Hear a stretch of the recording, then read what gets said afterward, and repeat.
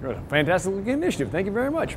Want to check in with Brittany Bagnall as she's getting us ready for this weekend. She's at St. Norbert Farmers Market getting us ready. Hey, good morning, Britt. Oh, it's a beautiful Thursday to come down to the market. Yeah, let's talk a little bit Just about St. Let's talk about St. Norbert if we can. For anybody who hasn't been, uh, what can we expect? Okay, yeah, because I actually have never been, I'll be honest with you. What? And I had so much fun researching this. I know, and I'm actually from Winnipeg, but I just, I don't know. I don't know why I haven't. Maybe I didn't know about it or what the case may be, but so many people do know about it. And if you don't, then this is your opportunity to come down this Saturday because they are opening for their 25th year at the same grounds that they've been for the past 25 years. And there's some fabulous Manitoba grown produce, products, make it, bake it, grow it mentality down here. So everything that you can find at the market was made created, and done in Manitoba. So to tell you a little bit more about that, Marilyn Firth is here, and you've been with um, St. Norbert's for a while now. So tell me what people can expect when they come down here. Well, uh, they can basically expect anything that you can make, bake, or grow in Manitoba. So it's very exciting. We have lots of vendors. About 115 vendors come down on a Saturday.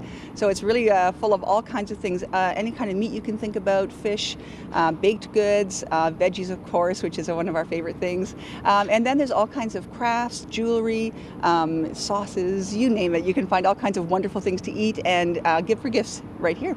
There you, and that's a great idea too because a lot of people want to give gifts that are yeah. made in Manitoba, and so that's a great opportunity. Even if you've got family visiting, p- take them through here. Mm-hmm. So, what are the days that the market will be open in the summer? We're open Saturdays, starting this Saturday from 8 a.m. to 3 p.m., and Wednesdays from 11 a.m. to 4 p.m. And how many people can you expect to come down to the market? Well, you know, when we did number counts last year on a busy summer Saturday, um, we had almost 10,000 people here on a day, and wow. so our, our, earlier ones are a little bit quieter, and right. our and our um, our fall ones are a little bit quieter, but by quieter, it still can be, you know, 5, mm-hmm. 6,000 people coming through in the course of the day. Well, not anymore. Not after this morning, Marilyn. and uh, okay, so a lot of the produce, all the produce here is Manitoba. So how do you ensure that that's from Manitoba?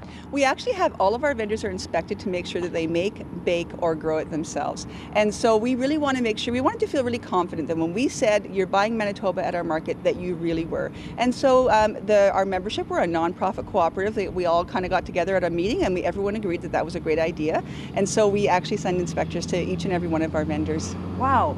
And so 25 years, that's what we're celebrating this yes. year. So how, uh, what, what can we expect for this year? Well, we have so much exciting stuff going on this year. It's going to be really exciting. We have a fabulous opening day planned. We're going to have uh, face painters and clowns and live music. It'll be lots of fun.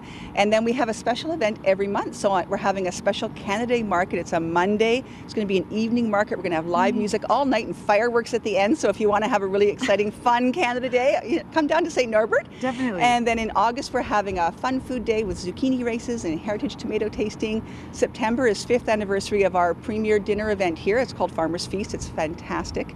And then in October, we're having a giant uh, and weird pumpkin contest. So start growing your pumpkins now. You can get your, your uh, pumpkin starts here at the market on Saturday. There will be different vendors selling them. So take a look around for that and get going on your growing. There, get going on your growing. You heard it here. You can come down here this Saturday, happening June the 1st at St. Norbert Farmers Market. And uh, also, you're doing some big expansions in the back right now, aren't you? We are. It's not really expansion, more of a redevelopment of the site. We're not getting bigger, we're just going to get better. And so ah. uh, we've been working with our community partners. There is an expansion in terms of around the market. We'll have a, um, a community park that's being developed just uh, to the east of the market, improving drainage at all the sites around, including the market, improving our entrances, exits, better benches, better pathways, lots more trees. Okay. So we're so excited. Lots going on at the at the at the market in the next year or two as we Perfect. continue to develop. Well, if you have been down to St. Norbert before or it's your first time, you're going to expect some lots of new things this year. We're coming up, we're going to speak with Phil who makes honey and also see a couple of the goats and hens that are down here, maybe even milk a goat. All that's still to come on BT on City.